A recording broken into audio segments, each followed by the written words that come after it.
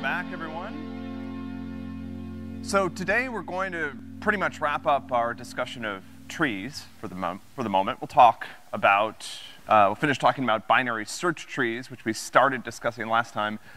Uh, we'll do another problem, and then we're going to shift gears a little bit. So we'll remind ourselves that recursion is a technique that we can use on a variety of different type of data structures, not just trees. Then we'll introduce you to sorting, which is a fantastic problem that we are going to spend a couple of lectures talking about over the next week. And then at the very end, I'll explain how to get a job. So this will be a fun, a fun morning. Okay. So let's go back to our uh, recursive tree search problem. So last time we implemented tree search, or we discussed how to do it. I think I left this to you because it's going to be a homework problem this week. But we talked about how to search on a tree, on a general tree, a general case of our binary tree. As usual, we want to break this down into a couple of different pieces. Whenever we talk about recursive algorithms, we're going to think about what the base case is. So the base case with our um, recursive tree search was either we get to a leaf node, because at that point I can't make the problem smaller anymore, or I find the node I'm looking for. And I have still embarrassingly forgot to update this slide, but I will get to it at some point. So when we're looking for something in a tree, if I find a node that has the value I'm looking for, I don't have to look for the rest of the tree. If I'm trying to count how many times that value appears, then I do have to look through the rest of the tree.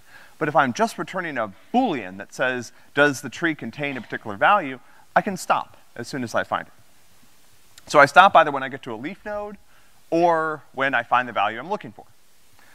The way that I make the problem smaller, my recursive step, is that I look for the value in both my subtrees. So if the node that I'm at doesn't have the value, if it has the value, I'm done, because I can just return true and, and finish the job right there. But if the, that node doesn't contain the value, then essentially I want to say, is it in my right subtree? I'll look there. Is it in my left subtree?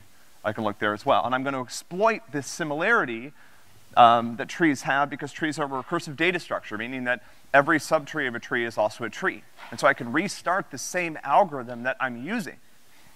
This is why a recursive implementation will tend to call itself. I can restart the process on my right subtree, look at the result, and I can restart the process on my left subtree. If either one of those subtrees contains the value, then I'm done. I found it. Um, otherwise, I return false. So how do I combine the results? I say, if I have the value, then return true immediately. Otherwise, I take the logical OR of whether or not the value exists in my right subtree or in my left subtree. And the fun thing is that if I find the value in my right subtree, and that's the one I look at first, I can stop. I can finish the job right there. Okay. So we're not going to implement this again, um, but what I, what we, where we sort of stopped last time was uh, talking about how to make this more efficient. Trees in computer science are a huge and extremely interesting family of data structures. So again, when you get to 225, you'll talk about uh, trees used in a variety of other contexts. Um, trees are a ubiquitous data structure, but how I structure the tree internally has a lot to do with its usefulness for doing certain types of operations. So up until this point, the only structure that we've imposed on our tree is that every node has two children. That makes it a binary tree. Tree doesn't have to be binary. There are trees that are in wide use where nodes can have any number of children, but we've been talking about binary trees.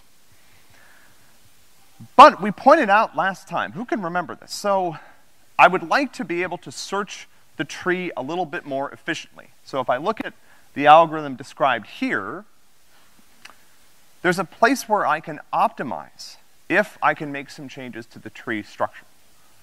And to jog your memory, that place is that here I have to look in both my right and my left subtree, down here. So if I contain the value, it's easy. But if I don't contain the value, then I have to look both in my right subtree and in my left subtree, because up until this point, we've had no rules about where things go in the tree. I can just put them anywhere. I can add a node anywhere in a binary tree as long as its parent doesn't already have two children. But if I impose a little bit of extra structure on the tree, it turns out that I can improve the performance of this algorithm, and the way I can do that is at this step right here. So what I would like to be able to do is to know whether or not I should look in my right subtree or my left subtree. So if I knew that when I got here, I could say, okay, well, I don't contain the value, but is it in my right subtree? It should be in my right subtree, so I'm only going to look in my right subtree, or it should be in my left subtree, I'm only going to look in my left subtree. And so doing this creates something that's known as a binary search tree. So we started out with trees, which were this really general data structure. Then we made them binary. Every node can only have two children. Now we're making them a binary search tree. So this is a additional sort of sub-variant of a binary tree. And we pointed out that there's some differences. So I'm going to show you the code. We're not going to talk about this at length. We will implement search, but um, there's some differences here. So instead of storing objects in my node, I'm now storing objects that implement the comparable interface. Remember way back when we talked about interfaces, I promised you that this simple decision to allow two objects in Java to be put in order has profound consequences, particularly when we talk about data structures. I promised that we would be able to search for things more efficiently, and now here we are talking about it, so that's kind of fun. The fact that I can put things in order is, in, is necessary for this. I cannot implement a binary search tree on an arbitrary Java object. I have to be able to make a consistent choice given two objects about which one goes first and which one goes second, and we'll see that in use here. So my nodes are now storing object, any object in Java that stores comparable, that implements comparable. So all Java numbers implement comparable, like integers and doubles and things like that. Strings implement comparable. Your new classes can also implement comparable if you want. And if you do that, and there's a natural way to compare them, you can now put them into this binary search tree and search for them efficiently. All right, so the other thing that was different, if you scroll down a little bit and look at the add method. So previously I had an add method that essentially said, okay, if the node doesn't have a right or left child, I'll add it to that node. But if it has both, I'll pick a right or left subtree at random, and that's where I'll put the node. Now I have to be more precise about where I put things because I'm going to use this feature when I look for things. So I'm imposing additional structure on my tree. Before when I had a binary tree, the only rule was every node can only have two children. Now, there's, the rule is different. The rule is that when I'm inserting a value into the tree, if uh, the value is greater than the uh, node, the value at that node, then I either, I need to add it to the right side. And I can do that in two ways. I can either add it as the right child of that node if the node doesn't have a right child. If the node already has a right child, I'm going to add it to the right subtree. Okay? Otherwise, I'm going to add it to the left subtree, and this is arbitrary. All I need to be able to do here is to compare things consistently. So I'm using compare to, and again, this is a place where this idea of being able to put objects in order becomes incredibly important. So if the object is bigger than the current node, it goes to the right, either as the right child or in the right subtree. If it's smaller or equal to, it goes to the left, and I could flip those around. And maybe I did flip them around. I'm not exactly sure what this does. I can, I, I always forget how compare to works. I have to look it up. But anyway, but the idea is here is I'm being consistent. I'm always going to put things in a particular spot in the tree. I'm not just adding them in a random location. All right, so this is something that I can now use when I implement search. Okay? So let's, let's, let's recall our original search algorithm, okay? So originally what I did when I was looking for things, and now search is gonna have to take a comparable as well. Um, so I need to, to, to modify the signature.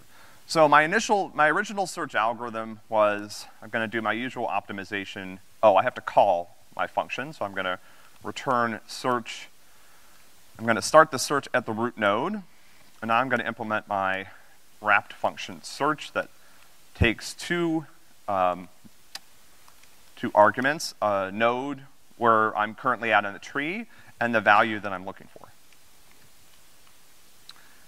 And so now I can go back to my description, and I'm just going to implement this, this original search algorithm. So I'm going to let myself walk off the tree the way I usually do. So I'm going to say if current is equal to null, return false. This means that I've walked off the tree. It makes the rest of the code a little bit simpler because I don't have to worry about whether or not my right or left child are null. All right, so that's part of my base case, but the more important part of my base case is I'm gonna say if current.value dot equals value, then I found the value, and I'm done. I do not have to look at my right or left subtree here. I'm finished. This is part of my base case. All right? Otherwise, here's what I did originally. What I did originally was I said, return search current.left value or search current.right value. If I have the value, I'm done. Otherwise, I look in my right subtree, and then I also look in my left subtree. This will still work, right? So let's make sure it still works. So I'm looking for a value that's in the tree. Okay, that's good. I'm looking for a value that's not in the tree. Okay, it's false. So this seems to work. But I can do better than this. I added structure to the tree for a reason. I've got comparables instead of objects for a reason. So what do I do differently here? in my search algorithm. I'm building the tree differently, and I'm building the tree differently precisely so that I can do the search differently. How do I take advantage of that additional structure that I've added to the tree when looking for stuff? That's why I did it in the first place. Who can help me out here? This search algorithm is fine, but it is not good enough. We can do better.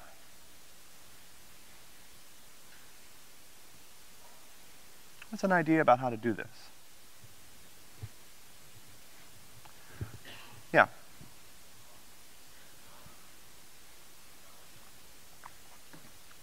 Okay, so I'm, I'm gonna do that. Okay, so, so the suggestion is, hey, maybe I can compare the value that I'm looking for to the current node's value.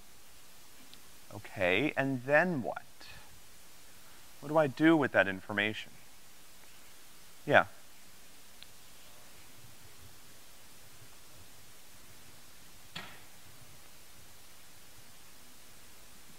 Yeah. So when I built the tree, I had a rule about where to put stuff, and I applied the rule. And so when I'm looking for stuff, if I don't have the value, I know, depending on how it compares with me, whether or not it should be in my right child tree or my left tree. So I shouldn't have to look for both trees anymore. I know where the value should be. I say, okay, I'm not the value, but because of how I built the tree, it's depending on how it compares with me, it's either going to be in my right subtree or my left subtree. All right, so let's, let's try to do this. So I'm going to say if current dot value compare to value. And again, these are comparable, so I can do this, all right? Um, if that's, uh, I gotta remind myself how I did add here. If that's greater than or equal to zero, else I'm gonna put this down here. Okay. So let's go back and look at how I built the tree. So when I was putting a new value in, if the value was greater than or equal to, to the value at that node, I put it on what, in what part of the tree? If it's greater than or equal, I put it to my right. My right, your left. Your left, my, your right, my left, right? If it's, if otherwise, I put it in my left subtree. So here, what I should be able to do is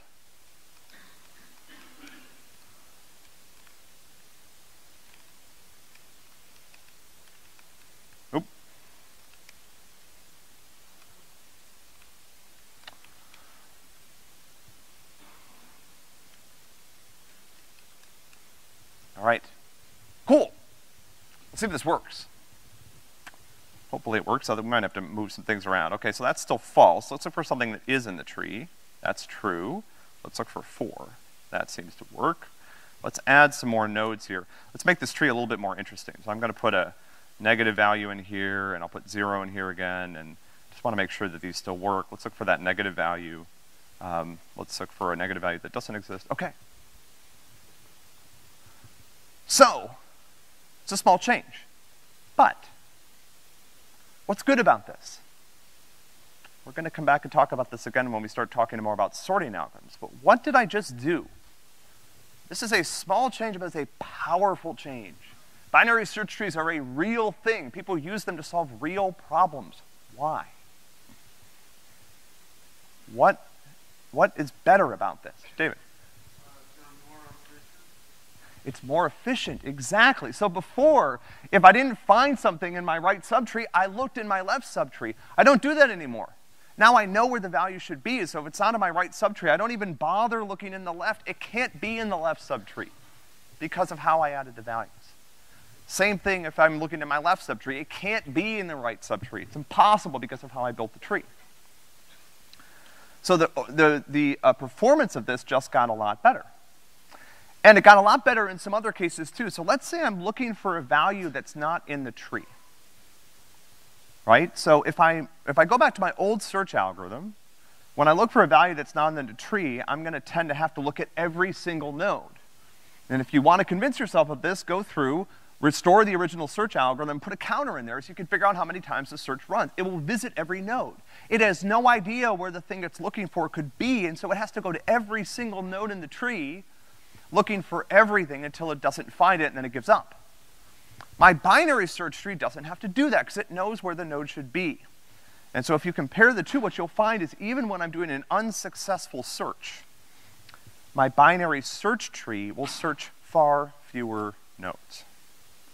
Now, there's some issues with this in terms of how the tree structure gets built. One of the main things you guys will learn in 225 is how to maintain a particular property of this tree so that the search stays efficient over time as I add or remove nodes from it. Okay, and I'm not going to talk about that because that's, that's for later. But this is better. Right? We've made an improvement here. We've, and, and this is, you know, I think a great example of how I, of, how, of why we structure data right? So I made a small change to how the tree is built that produces a small change to how I look for things that potentially produces a massive change in how fast it is to search the tree. So just to give you a comparison, remember those different you know, curves we looked at? If I look in a binary tree for a value with no structure, search is ON. In the worst case, I have to look for every node. If I look in a binary search tree for a node, searches O log n in the best case. And so I have moved myself from something that goes up to the right to something that grows much more slowly. So this is kind of a, this is kind of a big deal. Okay. Questions about that before we go on? We're going to do another, another example here that's going to give us a chance to do some review of lists and remind ourselves to, how to do that. Okay, so let's, so this is, you guys are going to do problems like this all week. This is the week of tree homework problems in 125. Um, one thing we're going to do as we go on is we're going to start asking you to use other data structures as part of your tree implementations, as part of your tree solutions. So some count, those are too easy for this part of the week. It's Wednesday, right? We got to do some more complicated stuff, some more interesting things. And this also gives you a great chance to practice using some built-in data structures in Java. All right, so here's what I want to do. Given a tree, this is sometimes called flattening the tree. I want to take a tree that's got all this structure to it, and I, what I want when I'm done is a single list that contains all the values in the tree. If the value appears multiple times in the tree, it should appear multiple times in the list. So essentially, I want to convert one type of data structure. I've got this hierarchical data structure called a tree that has data in it, and I want to flatten it. You know, you can think of a tree as like, I'm flattening it into a list, but I want to flatten it in such a way so that the list contains every item in the tree. Okay, so let's talk through how to do this. What's my base case here? When do I stop? Yeah. When I reach a leaf node or when I walk off the end of the tree? Yeah. So I've reached a, let's, let's say when I reach a null node, right? So if I reach a node that's null, it means I walked off the side of the tree and there's nothing to add to the list at that point. I've essentially reached an empty tree and I don't have anything to put on the list. What's my recursive step? This is not that different from every other way that we approach these types of problems. It's a binary tree. How do I make the problem smaller? Let's say I want a list of all the nodes in a particular tree and that node has some children. What are the subproblems I'm going to solve? Yeah. Right subtree, left subtree, yeah. Consider our right subtree and left subtree separately. This is our canonical approach to dealing with these. So here's an interesting question. So how are we combining results here? Right, what we want is a list. And so what we're gonna do here is we're gonna actually pass a reference to the list to each, um, you know, instantiation of the algorithm, and I'm gonna put myself on it. So I'm essentially gonna say, okay, I need to be on the list, so I'm gonna add myself, and then I'm gonna restart the algorithm on my right subtree and my left subtree, so all the nodes in my right subtree have a chance to add themselves, and all the nodes in my left subtree have a chance to add themselves. So on some of the homework problems this week, and on the lab that you guys are working on, and on MP4, we're giving you some practice with working with uh, Java lists. So we've talked about lists, you guys have implemented some of your own lists. Now we're gonna use the built-in Java list classes, which you know, again, lists are one of these data structures that you meet in heaven. They're so fantastic, okay? At this point, here's my suggestion. Some people will, will get mad at me for this. Stop using arrays. Just stop. They're usually not the right solution to a problem. Use a list. Way more flexible. Um, you know, you can add things, you can insert things. You can solve problems using arrays. Don't get me wrong. But usually, if the goal is to solve a problem, using a list is gonna get you there faster. It's just a lot more flexible. So in Java, there are two built-in uh, implementations. So list in Java is an interface. It's a contract that a number of different uh, implementations can provide. There are two built-in uh, list implementations in Java that you might want to get familiar with. Well, you need to get familiar with for MP4 and, and for lab today and for some of the homework problems. One of the ones that people use a lot is something called an array list. As its name implies, an array list is a list where the items are stored internally in an array. So the uh, performance of the array list for various operations is not that different from what we've talked about. You guys already implemented this. You know how this works internally, or a little bit about how it works. Now the Java implementation for real is probably a lot more complicated, more optimized, and play some tricks to try to improve performance here and there. But it's basically what you guys already did on the homework. You've implemented an array list, so you know how it works. But don't use your implementation, use the one that's built into Java that millions of people use every day. We know that it works, okay? There are no, there are, I would be shocked if there are bugs in this, right?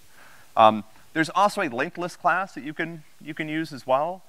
Again, works how it sounds. You guys have built one of these as well. Internally stores the items in a linked list, has some of the performance characterization uh, characteristics of the linked list that you guys have implemented. But again, we're done implementing these, you're done working on them yourselves. Now let's start as a user of how to, how to use these because they're, they're tremendously useful.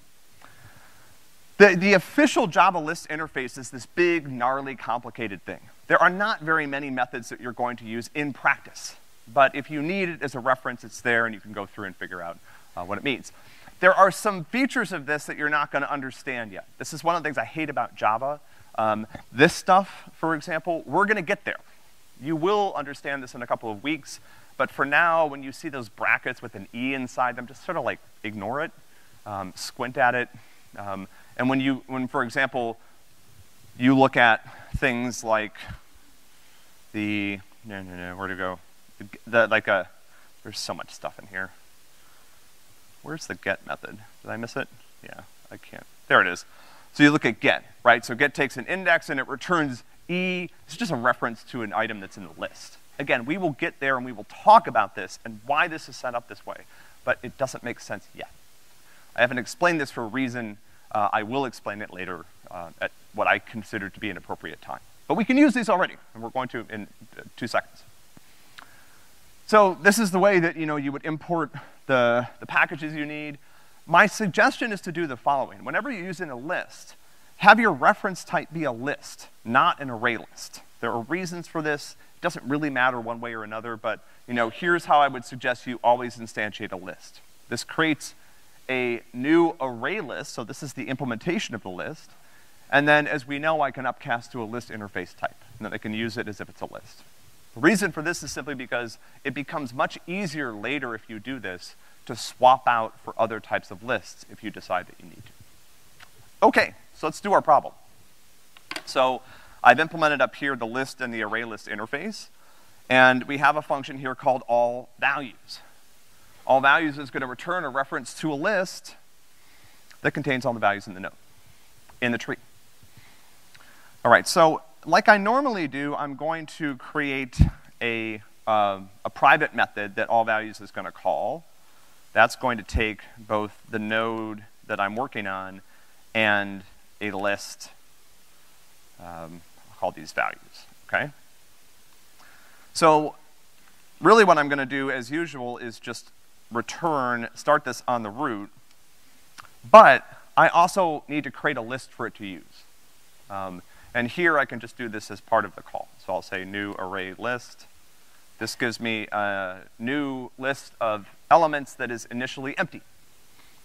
So on the right side, I create my new array list, and I'm gonna upcast that to a list reference, and then I'm gonna call my all values method. So let's go back to our algorithm here. So my base case is I've got, is I've reached a null node. So I'm gonna say if current is equal to null, then return values. So if I've walked out the edge of the tree, I should stop. Otherwise, what do I need to do? It's two, there's like two things. One is kind of restart things, the recursive step, but what, what's important here to do to make sure that the values that is returned is correct? Who could describe what I need to do here to me in English before I restart things? Yeah. Yeah, and what I really want is a list of values, so I need to add current.value, exactly. So I need to make sure that the value at this node is on the list. So I'm gonna say values.add current.value. That's it. It's really easy. By default, that'll put things at the end of the list. If you want to put them somewhere else, you could provide an index. But here, I didn't provide any rules about where things are in the list, so this is fine. All right, so what's my recursive step here? What do I do?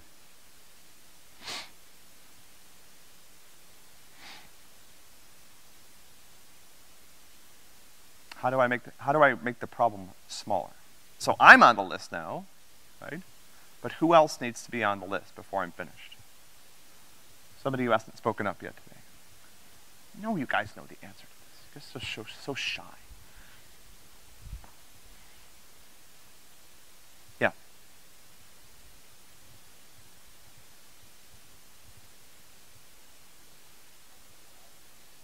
Yeah, so the list I, I, I have is values, right?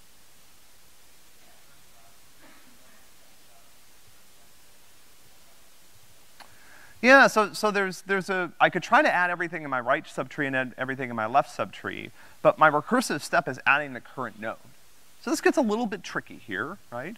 Um, what's, let's just try this. Let's try, try calling all values with current.right and values. What's this going to do? This is going to call, restart the, uh, the algorithm on my right subtree. That node is going to add itself if it exists, and then it's going to restart on the right subtree. And so as I'm going, this, this, this values list is going to continue to be updated. And I can do this on my left subtree as well. Values, and then I can return values here. This is a way to do this, and it seems to work. One thing here that's a little interesting is that um, I don't really need to return a value. So I, I, can write this in a slightly different way. Let's do this. Um, so essentially I can just do, I can have my wrapper function say list values is equal to new array list. I can call it and then I can return values here. And then here, this doesn't need to return anything. This, uh oh Oh, I have to, yeah. I have to, have to use this that I've created. There we go. So yeah, so this is a little bit of a different way of doing it. So my wrapper function creates the list. It then starts the recursion using the list. As the recursion is going on, it's passing that reference around to all the new copies of add values that run. Every one of them adds itself, then it restarts on the right and left subtree, and then I'm done. As I go, that list is being modified by every copy of uh, the function, but I don't need my internal function to really return anything. The way that I'm returning a result is by modifying that list. Here's another way to do this. Questions about this? This is something you guys are going to see a few times this week. Combination of using a, and on MP4, combination of using a tree, but then also using a list internally, starting to get comfortable with the list, the built-in Java list data structure. Mainly because, like I said, this is a tremendously useful data structure that you will need when you work on your final project, that you will need in the future, in your life, if you want to build real things with Java. Um, again, don't, if you're, like, if you have ordered data in Java, the usual thing you reach for is a list, not an array. Questions about this? Okay. See how I'm doing on time. All right, so goodbye trees. We're done with trees. You guys aren't done with trees. You'll see trees on next week's quiz. We have some more problems on trees, but we're done with trees. Then we're gonna move on. We're gonna start talking about an algorithm and some data structures that we use to solve it for the next uh, week or so. Um, but I wanted to point out something before we go on, which is the trees, and I, I said this at the end of class last time, but trees are not the only data structure that has this recursive property. There are other data structures that I can plug into this sentence. So trees work, but last time we also realized that a list is a recursive data structure. If I take a list and I break it into two pieces, both parts are a list. That's kind of interesting. Um, if I take an array, again, if I snap an array into two pieces, I've got two smaller arrays. And so this gives me a clue that I might be able to write recursive algorithms that run on lists and arrays, and it turns out that indeed we can, and we will. So let me show you, and this, this is a, uh, so in, in a list, right? So the question is, how do I break the, how do I break the problem down and make it smaller, right? So as I go through a list, at any point, I can consider the item that I'm at and then the rest of the list. So I'm at this particular, I'm at item six, how do I make the problem smaller? I consider this, this item and the rest of the list. And then I keep going. So now I'm at item five. How do I consider how I'm gonna make the problem smaller? I think about this item and the rest of the list. I'm at item eight. How do I make the problem smaller? I think about this item and the rest of the list until I get to the end. Eventually I get to an element in the list that doesn't have a next reference. And I've reached the end of the list. And so you can write We've, we've shown you how to iterate on lists, mainly because I think that's more useful. But you can write a sum over a list as a recursive function. You can write a recursive function that counts the number of nodes in a list. Like you can write all of these uh, functions using recursion on lists if you want to. It's another way to solve the problem. So, okay, I meant, you know, how do we make the problem smaller? We basically look at the current item and the rest of the list. The smallest subproblem is a list with a single element or a null list. Let's see how I'm doing on time. Where I am. Oh, this is, I don't know if I want to do this problem or not. This is a fun problem, but uh, this, is, this is sort of a mind bender. Let, let, let's come back to this. Let me see how I do on time, and then we'll come back to this. This is not something that, that you really need to know. This is just sort of designed to be a fun example of how to use recursion on lists, right? So let me, let me skip it, and then if we have a little bit of time, um, we'll come back and do it. All right, but I also want to show you how we can recurse on arrays, because this is something we are actually going to do over the next week or so when we talk about sorting. So if I take an array, I can identify the fact that each contiguous part of an array is itself an array. So I start off with this array with eight elements. Remember when I did right and left subtree? It starts to look kind of similar. So I have left and right subarray. So now I've got two smaller arrays, each of which has item four, has size four. I could break them in to different pieces in different ways. I could look at the left one with size 2 and the right one with size 6, but a lot of times we do this evenly for reasons that we'll talk about later. Now I break the left subarray into two parts. I've got a left subarray and a right subarray. And I can keep doing this until I get to an array with a single element. So just like a tree where I broke it down into right subtree and left subtree until I got to a tree with one node, with an array I can split it into smaller and smaller pieces until I get to an array with a single element and then I can start, I can do this, I can, I can sort of build solutions up this way. Now I'm on the right subarray, looking at the left subarray, right subarray of that, continue to do this. So just, again, just like with trees and with lists, I need a way to make the problem smaller and identify the smallest subproblem. So how do I make the problem smaller with arrays? I look at the two smaller arrays.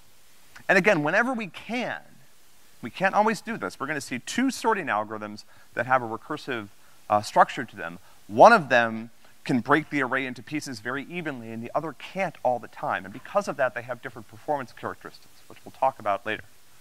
But whenever I can, I want to try to break the problem into smaller pieces that are roughly the same size. But any smaller pieces will do. The smallest subproblem on an array is an array with a single element, or an array with zero elements. Um, so those, so those are, you know, this is how our approach maps down to these other data structures. So again, I, I, I don't want to give you the impression with this slide, although I will take questions about recursion now that we're done with recursion. We're not. We're going to keep using it as a tool to solve some other problems, particularly once we start talking about sorting. But any general questions about recursion, particularly on trees at this point? This is not something that comes naturally to a lot of people. Keep practicing. Yeah.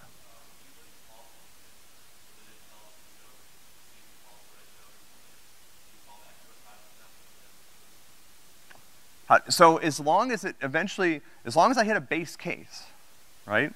So you can think about it, when I start a, when I start a recursive function on a tree, it starts on the root. And then let's say it starts on the right subtree. So the root function is waiting for the right function to finish. And then that function is gonna wait for some other function, right? As long as one of them eventually returns, right? And then the next one returns and the next one returns, that top one will finish right? You can think about, you know, again, you can kind of think about where you are in the sequence of, of recursive calls. Um, it's really not that different from calling any other function. Whenever I call a function, the function that's running waits for that function to complete before it continues. With recursion, what's tricky is making sure that I get to a base case. If I don't, then it's possible that I keep recursing and recursing and recursing and I never, I never finish. So the real trick with recursive functions is having a base case and making sure that you are approaching the base case. So that's the other thing. So we've looked at cases with recursion on trees where, for example, if instead of restarting on my right subtree, restart on myself, I'm not getting closer to the base case because I haven't made the problem smaller, right? I'm just, now I am in a loop. Right? Good question. Other questions about recursion? Something to wrap your mind around, again, with, with lots of practice. This is not the last time you guys will see it. You'll see it in 173 from a theoretical perspective where it's incredibly useful for proving things, which is really neat. And then you'll see it again in 225 and in later courses, right? This is a powerful idea in computer science. There are languages you guys will learn in the future that are heavily based on recursive solutions to problems, right? Java is a language that on some level is sort of iterative first, but you're gonna learn other languages in the future that on some level are recursive first. They encourage you to build recursive solutions and they make them even easier than Java does, right? So again, Java as a language tends to favor, I would argue, iterative approaches over recursive approaches, but there are other languages that do the reverse. There's other languages where you, there's languages where you can basically not even write a for loop, and yet you can still solve really cool problems. So, so this is something you guys will see. Again, you'll get more comfortable with over time, and depending on the context in which it's being used. Okay, so let me introduce for the next 10 minutes the topic for the next week. So we're going to start talking about sorting. And you might, I, I, one of, the thing I want to try to do over the next, you know, five, 10 minutes is make you excited about this topic, okay? Um, I know it doesn't sound very interesting, um, sorting stuff, right? But turns out that sorting is a building block for a lot of what happens in modern computing, okay? Sorting also brings together a lot of the stuff we've talked about. We're gonna talk about imperative solutions to sorting. We're gonna talk about the runtime analysis of the sorting algorithms that we implement, both in terms of space and in terms of time. We're gonna talk about recursive ways to uh, sort things, right? Um, and so this is a neat kind of place where a lot of the material that we've talked about this semester is starting to come together, which is kind of fun. Sorting, again, also matters in the sense that it is the building block for lots of other algorithms. It turns out if data is sorted, then a lot of things become much easier to do. And so there's a lot of places, whether it's in a database or in Google's data centers or wherever, where data is maintained in a sorted way in order to enable other things to work. Right? So sorting, you know, just putting things in a particular order doesn't necessarily uh, it doesn't necessarily seem very meaningful at first, but it turns out to be, again, required and the foundation for a lot of other things. Um, so again, I can search more efficiently if the data is sorted first. I can detect duplicates by sorting data and looking for them that way. That's much more efficient. Um, you know, when I'm, when I'm presenting, a lot of times you guys like to see things in a sorted way, right?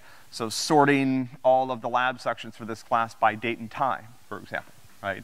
Um, a lot of times when you guys are looking at information, whether it's sorting all the songs in your playlist by, you know, the, the song title or by the song album or by the song uh, author, an artist, right? So to try to convince you of this, there is a, um, there's this challenge every year. I think this is cool. You guys can check this out on your own. Um, if you Google sort benchmark, you'll find this. And this is still going on, right? So sorting is not a solved problem by any means. There's a competition every year that's held um, for uh, you know, algorithms and systems, actually, not just algorithms, but systems that can sort an enormous amount of data. So this is called the SORT Challenge. It was initially uh, organized by a famous computer scientist called Jim Gray, who I'll say a few words about in a minute. Um, there's a bunch of different categories. This is sort of like the Olympics of sorting, so like different events, right? There's a category for sorting big data sets really quickly. And then there's a category for sorting big data sets while consuming not very much energy. And then there's a category for, you know, sorting big data sets in the most efficient way per dollar, right? They look at the entire system you built and count up how much everything cost and say, okay, you can, you can sort a trillion records in a second, but your system cost a billion dollars, so no one's gonna buy it, right? And so uh, my, my goal here is to convince you that people are still working on this problem and care very deeply about it. Sorting, a, and, and a lot of this is focused on sorting lots and lots and lots of data, right? If you think about the kind of data that Google has or, or Facebook or whatever, the volumes of that data, being able to sort it um, is really important. So Jim, Jim Gray was, as far as I understand, someone who was involved in um, the, the initial setup of the sorting challenge. And I can't talk about Jim Gray with mentioning the fact that um, Jim Gray vanished at sea um, in 2007. You can't see this as off the end of the slide, which is my fault, but uh, Jim Gray was a brilliant computer scientist. He was a Turing Award winner, which is the Nobel Prize in computer science. Um, he made many seminal you know, contributions to the field of database systems and, and information. Um, and he went out sailing one day and, and no one ever saw him again. And there was actually a big worldwide effort, a big search project carried out by a lot of volunteers to try to find, you know, uh, look through satellite imagery and look for his boat and stuff like that, but, but he was never found, so. So anyway, but his memory lives on in, in not only his contributions to the field, but in this particular competition that's still going on. All right, so there's a gazillion ways to sort things. We are not going to talk about all of them because we don't have enough time, and at some point, you know, we sort of, it, it becomes sufficient. Um, but, you know, we'll start talking about sorting on Friday. We'll look at a specific sorting algorithm called insertion sort. That's a, an iterative sorting algorithm. Um, you guys will see something called selection sort in lab next week, where we're also gonna talk about sorting and searching. Uh, we'll do merge sort in lecture. There's a, something called heap sort that you can find information on online. There's something called quick sort that we'll also cover in lecture. Uh, we'll do bubble sort in lab. And, and again, if, if, if I, um, just to try to convince you to get excited about this, so there's this new sorting algorithm, and new as in like, you know, 17 years old now, right? But that's pretty new, given that computer science has been around for a long time. People have been trying to sort things for a long time. Um, this sorting algorithm is, is called TimSort. Does anyone want to guess why it's called TimSort? You know, quick sort is like, oh, I sorted the stuff quickly. That's a good name. Merge sort, you guys will understand uh, why merge sort is called merge sort. Bubble sort, selection sort. Why is it called Tim sort? Yeah. Yeah, guy's name's Tim, right? Tim came up with Tim sort, right? Tim sort turns out to be the standard sorting implementation in both Python and Java at this point, right? So if you want to get famous, um, come up with a better way to sort than Tim sort, and the next sorting algorithm that we talk about, you know, in a couple years could be Heather's sort, or, you know, uh, Frank sort, or whatever. Anyway, when you come up with the algorithm, you get to name it, I guess, and he decided to name it Tim sort. That's what it is. Okay, so let me establish some guidelines uh, for how we're gonna talk about sorting. Um, we're gonna, uh, basically to discuss sorting on arrays. Obviously I can sort a list, I can sort other data structures, but we're gonna talk about it on arrays. Um, we're typically going to talk about sorting in ascending order. That's just a convention. We could talk about descending order too. It doesn't really matter. Um, and we can sort anything that we can compare. So again, by implementing comparable in Java, you make your class sortable. But typically, for simplicity, we're going to be talking about sorting integers. All right, I, am gonna, so when we talk about sorting algorithms, there's really two things that we're gonna concern ourselves with. both how long do they take, and then also how much space do they take, because this turns out to vary quite a bit between sorting algorithms. Up until this point, we've primarily focused on ON analysis and just time, but if I've got a billion pieces of data, it actually matters how much memory it takes to sort that, and whether or not my sorting algorithm needs a, lots and lots and lots of memory. And so we will talk about the, the space complexity, how much memory or you know, uh, space on the computer is required to implement this. Okay, so I've got five minutes, and I want to talk about the project fair, which I'm excited about. So um, we are gonna hold our third project fair for this class. Um, it's always bigger, well, it's not bigger this semester, it's smaller than last semester, but better, uh, I, would hope. Um, here's how we do this. So we're gonna have the fair itself on reading day. Reading day is Thursday, May 2nd. I wanna remind you of something. There is no final exam for this class, all right? So essentially, the fair is really the last thing that we do together as a class. By that point, you'll have done MP4, you'll have finished your last midterm, which we'll give in the CBTF the weekend before. So this is really it. Part of the reason that we got rid of the exam, well, there's a lot of reasons, but one of the things that made me happy about it is that I really like doing this together as the last thing we do because we get to get, uh, see the really cool stuff that you guys build. All right? This is optional. It's on reading day. It's not required. If you come, you get 1% extra credit. Um, oh, and the other thing we're gonna do slightly differently this year is that uh, we'll do the award ceremony where we'll, you know, um, honor the winners, we'll honor some of the core staff, kind of our, our last chance to hang out together on Friday at 1.30. That is our exam slot, right? So all of you should be available during that time. It won't take three hours, it'll probably take half an hour, right? So we'll do the fair on Thursday from 1 to 3, and then on Friday we'll gather here, um, I think, or maybe in Foellinger, I can't remember, um, at 1.30, and we'll ju I'll just make some announcements, basically, and then we'll be done. All right? Um, I think this is going to be at Siebel. We're not quite certain on the, the location yet, but you guys will know in a month when we do it. Let me tell you why this is important. How much time do I have? Two minutes, awesome, okay. So here's a way to get a job in tech, all right? Take classes, do stuff in them, and get good grades. That'll work. It is not hard to find a job in technology right now, and you guys are all going to be really qualified once you're done here. This is one algorithm. This algorithm tends to get you a job, but it tends not to get you a great job. What gets you a good job, you know? Um, but again, if you are too focused on your grades instead of doing cool stuff, you, like I said, you will get a job. I guarantee that. But it won't be a great job. It'll just be a good job. Still a good job, but not a great job. All right. If you want a great job, what do you actually have to do? You have to show an employer that you are excited about technology. That excitement spills out of the classes you take. It, it gets demonstrated in the fact that you've done stuff that you know you, you learned a little bit about it in class and then you went off and you found a bunch of other information about it online and you used that to do something cool. So the project fair is largely intended to get you guys started with something like that. We're not, this is completely open-ended. You guys get to decide what you do for the project. Some of you are gonna do the minimum. That's okay, right? You know, every year, like the first year we did this, like 20% of the class built a weather app. Okay, fine. Like that's cool, that's a good learning experience, right? Um, but I doubt that your weather app is gonna like shoot up the ranks of the App Store. Um, although to be honest, there's some pretty shitty weather apps out there, right? Sorry, I shouldn't have said that. But anyway, I've got, a, I've got like two on my phone and I don't like either of them. So maybe, maybe there's space for a next great weather app. But, you know, so let me inspire you a little bit more by showing you, this is up on the website, um, some of the things that people built last year. So uh, one of the winning groups built this capture, uh, like a capture the tag game that used RFID tags that you can play around campus. Like that was just like mind-blowingly cool. Um, there's YouTube videos about all of these. You guys can go check them out. But, you know, our goal here is to get you to build something. And when you show it to an employer, don't say you did it for a class. Because by that point, if it's really cool, you'll spend a lot of time on it outside of class and it'll be yours.